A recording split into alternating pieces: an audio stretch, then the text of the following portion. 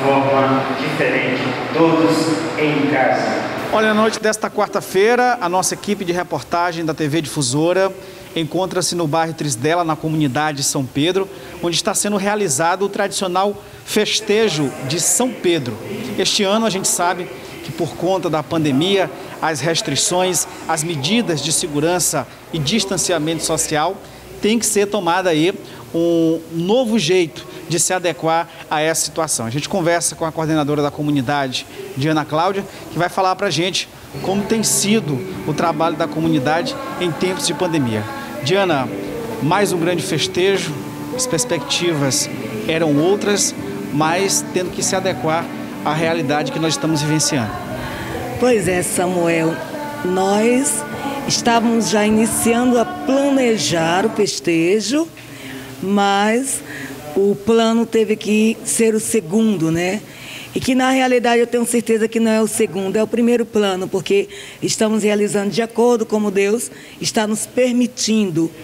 Então, é uma festa tradicional esta do nosso festejo de São Pedro, uma festa que atrai não somente os fiéis, os moradores da Trizidela, mas atrai também assim toda a nossa cidade. Né? Ele é o padroeiro da Trizela, mas é o padroeiro dos pescadores e também é o chefe né, das chaves, é aquele no qual Jesus é, fez com que deu a ele este poder de ser essa pedra forte, pedra que foi lapidada por Jesus e atrair pessoas para o reino de Jesus.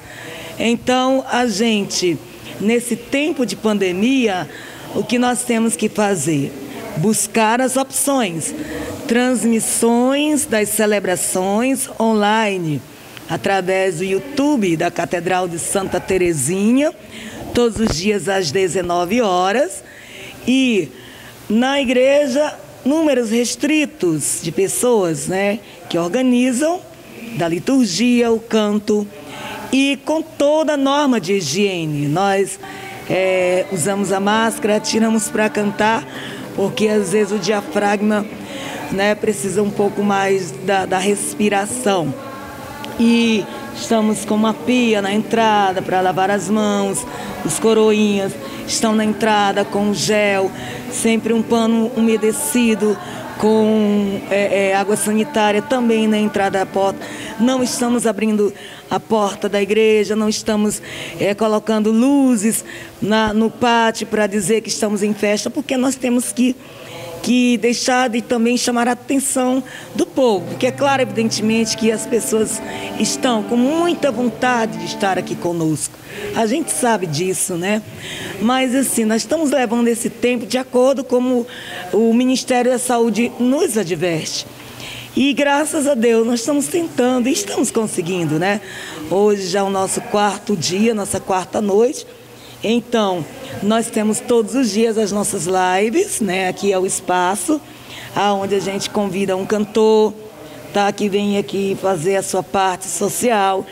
E as pessoas vão ouvindo, vão doando, vão colaborando, né? Como a gente tem a, a conta da, da, da Catedral de Santa Terezinha para que alguém deposite alguma quantia para manter também os trabalhos da igreja, né? Em dias, luz, água, limpeza, porque é, não parou, né? Parou as celebrações, mas as despesas de uma comunidade, de uma casa, elas continuam. Então nós estamos, né, dessa forma aqui, fazendo com que a gente possa é, atingir o maior número de pessoas é, evangelizando através das redes sociais.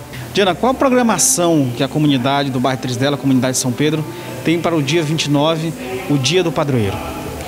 Bom, muita gente vai estar também na expectativa no dia 29. É, eu acho que a, a, as televisões, elas são testemunha de o quanto né, se batia na tecla de atrair pescadores, atrair pessoas com lanchas para acompanhar a imagem, né? E este ano a nossa único comunicado é que fique em casa. Nós não teremos a procissão no Rio Mearim. É com uma tristeza que a gente fala isso, mas também nós nos sentimos alegres, tá? Porque nós estamos sempre firmes em Deus. Então, no dia 29, a gente vai estar fazendo um passeio com a imagem é, em algumas ruas da dela.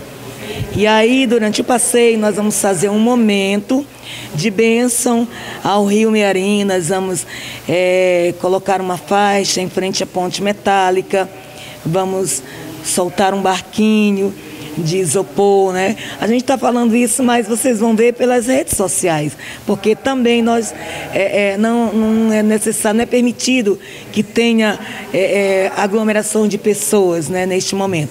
Então, dia 29 será apenas isso. E depois do passeio, a gente retorna para a nossa igreja, para a nossa missa, né, na intenção de que ela seria campal, mas é, o altar maior vai ser o nosso coração, que nós vamos estar acolhendo Deus cada vez mais nas dificuldades. Quanto mais difícil for o tempo, mais nós vamos acreditar que Ele está do nosso lado e tudo isso vai passar.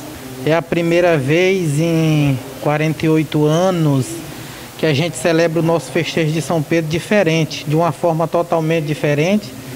Todo mundo em suas casas, através das redes sociais, acompanhando a missa. Aqui na igreja as pessoas estão assistindo, mas tem toda uma precaução, tem que entrar de máscara, tem que se higienizar, um distante do outro. E isso é algo diferente para as nossas vidas. Nós nunca tínhamos, é, tínhamos vivido isso.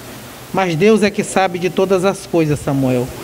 E a gente acredita que esse momento vai passar e nós vamos poder viver novamente nos abraçarmos, festejarmos, no modo geral, todas as nossas igrejas, essa comunhão gostosa, maravilhosa que nós sempre tivemos. E isso nós não vamos perder, mesmo nessa pandemia, mas você pode ver que a nossa comunidade de São Pedro está tá tentando se adequar, está tentando fazer as missas transmitidas através das redes sociais, o momento cultural que também é transmitido através das redes sociais. E a gente só deseja e pede a Deus e ao nosso padroeiro São Pedro que abençoe a nossa cidade, abençoe as nossas famílias e viva São Pedro, que é o padroeiro da nossa comunidade, do nosso bairro Trezidela, esse padroeiro que é forte, que é o chaveiro do reino do céu. Então, viva São Pedro, que é o nosso padroeiro. Contamos também com a colaboração de todos. Você que quer fazer a sua doação, venha fazer sua doação. Todas as noites nós estamos tendo churrasco. Não é aqui, mas é lá na pracinha, na casa da Diana, que é a coordenadora da comunidade, que está contando com a colaboração. Você que quer doar um arroz, você que quer doar uma carne, que quer doar uma linguiça, nós estamos aqui para receber, doar flores, fazer doação de alguma coisa para nossa igreja, nós estamos aqui para receber e também tem a conta da paróquia que está nas redes sociais aí também, se você quiser fazer sua doação, será bem-vindo para nossa comunidade.